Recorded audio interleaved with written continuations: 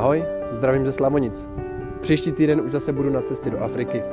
Jezdím tam tak často, že už tam začínají mluvit česky. Dobré ráno, jak se máš dobře? Tentokrát tam letím na čtyři měsíce a to i s celou rodinou. Jak víte, pekárnu ve Rwandě již máme postavenou. Máme i potřebné vybavení hotové, ale to se nachází v hlavním městě, které momentálně kvůli covidu odřízli od světa. Hromadná doprava je zrušená a platí zákaz přecházení z jednotlivých krajů, tak musíme počkat, až se opatření uvolní. A protože se nám nechce čekat a nic nedělat, rozhodli jsme se vydat se do Tanzánie a pustit se do dalšího projektu na pomoc nejpotřebnějším. Uděláme místní průzkum a zkusíme zrealizovat projekt na zlepšení místních podmínek.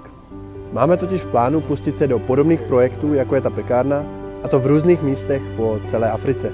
Už jsem projížděl terén v jiné části Rwandy a zjišťoval nejnutnější potřeby na různých místech, jako je například nedostatek pitné vody hned pro několik vesnic. Tak teď už ani na motorce nemůžeme jet, musíme už pěšky, jdeme se podívat na místo, kam lidi chodí pro vodu z té vesnice. Takže chvilku teď půjdeme. Takže už vymýšlíme, jak by se co nejúčinněji dokázala přivést voda do těchto míst, aby lidé nemuseli pít z louží, které tu jsou navíc jen v období dešťů. Chceme tedy rozjet projekty i v Tanzánii, ale i v dalších místech po Africe.